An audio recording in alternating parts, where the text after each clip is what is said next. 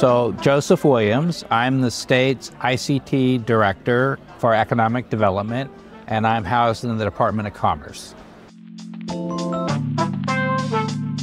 It's an organic environment here. The state actually doesn't do anything to incentivize the tech industry. The tech industry just is, and it continues to grow. And it continues to grow because of the cycle of talent. So we have a lot of talent that comes out of Microsoft and Amazon and Google and Meta. And as they exit, they do startups and it just continues to grow. It's been an amazing journey. And we're now, the sector is 22% of the state GDP. It's a huge part of our economy, and no other state has such a dependency on tech. So we're very good at enterprise computing, very, very good at enterprise computing. We're very good at the cloud, but we're not very good at consumer. So if you actually look at consumer computing, mobile games, like, well, we're actually decent at mobile gaming, but most of the consumer apps do not originate here. They open engineering outposts, so Facebook has an engineering outpost here, so does Apple, but our weakness would be the consumer side of things. We're really quite good at enterprise. So we do fund the university education system. The University of Washington, which is very well regarded in computer science, we gave them enough money and a new building to double their enrollments.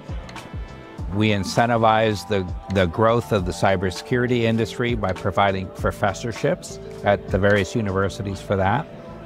But that's mostly what we do. We don't, we're not like other states that actually have cash incentives that they provide startups. Kind of weird when you think about it. There are a number of startup events around the city, but most of them are focused on one particular thing, whether it's 5G or AI or bioscience. This one actually was a blend of everything. And so it was a good place to go to get insight into what's happening in fusion and bioscience and data centers and AI.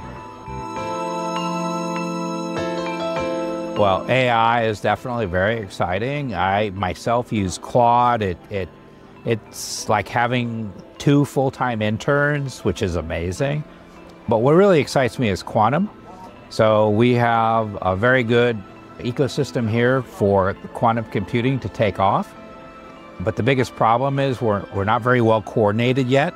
And so the thing that excites me about my role is help pushing everybody together to create some synergies so that we can actually get a quantum tech ecosystem here. Mm.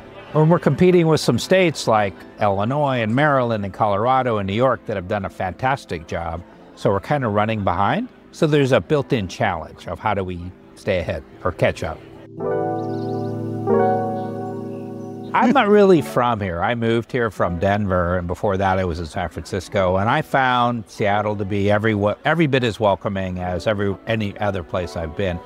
I think the problem here is that this is a very relationship culture as opposed to other places, and so it takes a while to build the relationship, and it just feels like it's unfriendly. But eventually, it ends up being a great place to network since I've been here at this event, I have run into at least 50 people that I have pretty good relationships with, and it's easy to rekindle those and, and get it moving again. And that's one of the things I love about this place.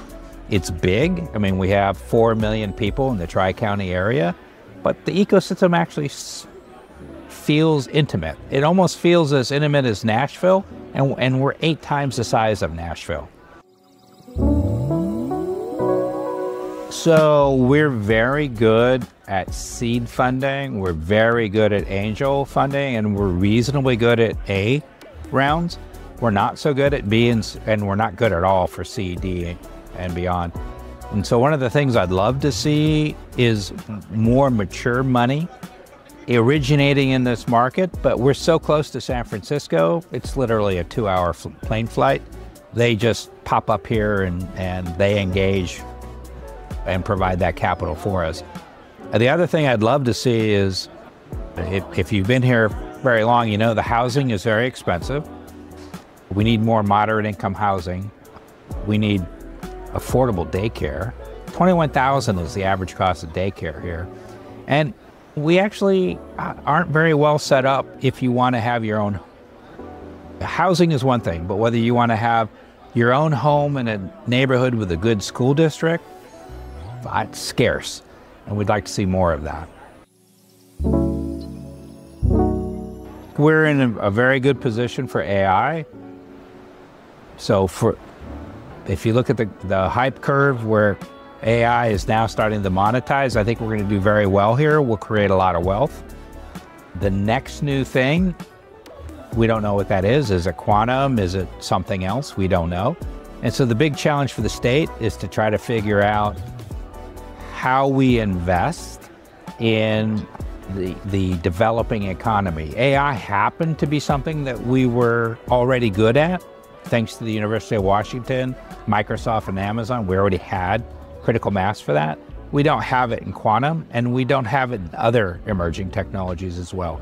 But we do have it in fusion, and so fusion is very exciting. We're not really a big leader in data centers anymore. We're, we're, we have about 100 data centers, but we're not building anymore. So you know, we have to figure out where the balance is. It's exciting. It's an exciting time.